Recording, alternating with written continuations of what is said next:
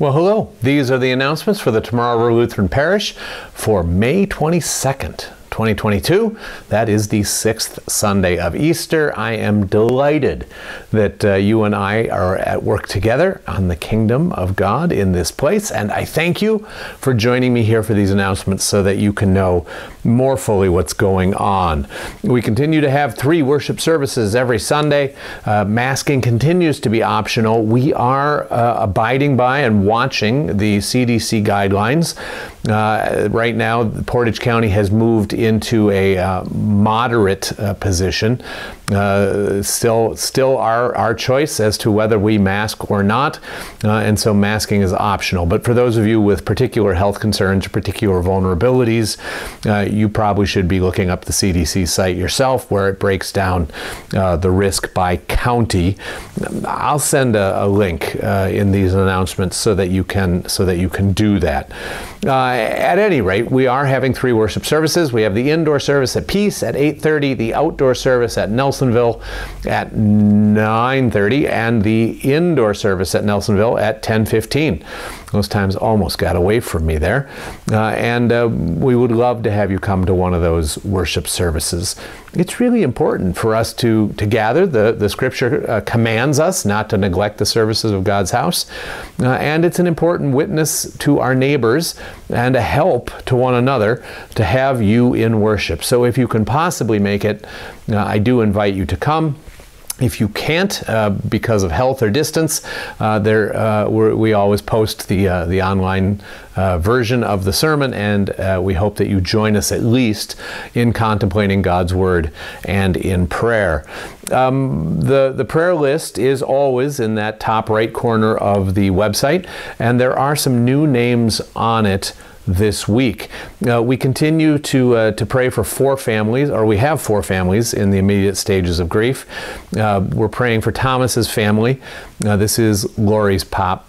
Uh, we're praying for Joel's family. This is Adam's grandfather and Ken's brother. Uh, we're praying for Lucy, uh, and uh, we're also praying for Lily, uh, for, Lu for Lucy's family and for Lily's family. And so I want to invite all of you into that. Uh, Laura is going through difficult cancer treatments. Sue has throat cancer surgery coming up this week. Um, uh, Dennis is in the hospital for uh, acute myeloid leukemia. Uh, Patty is in the ICU uh, for complications of COVID, although she is doing better.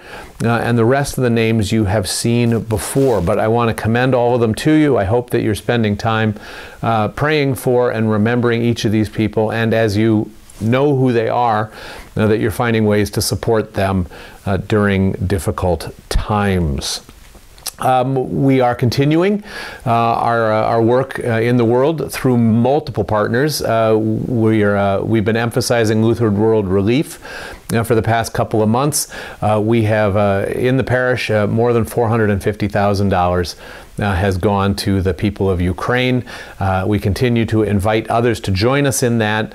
Uh, you can go to lwr.org slash match, or uh, if you want to, uh, to have your tally connected to the parish tally, lwr.org slash Tomorrow River, uh, and we would be honored to have you join us in that endeavor confirmation is done for the year, but we're going to leave the videos up for a while. You can find them on the website, uh, and uh, and if there's a, if there's thinking you want to do or talking you want to do about any of those stories of the Old Testament, I am always available. Uh, confirmation will crank back up in the uh, in the fall, and next year, uh, be year two of our three-year cycle, will be the Jesus year. So we have that to look forward to. Uh, confirmands, get your work done just get it done so that you can have a wonderful summer uh, free of all those sorts of cares and responsibilities. Senior Sunday is happening on the 29th. That's a, week from this coming Sunday.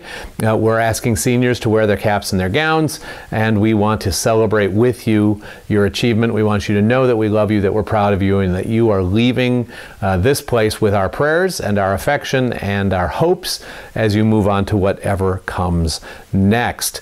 There are five scholarships available to uh, to graduating seniors. Uh, a couple of them are also good for people who, who are who are into their um, uh, studies, their their uh, college years uh, or their, their time at uh, vocational training. Uh, so uh, those there's a, a, link at the top of the website, scholarships. Click on that.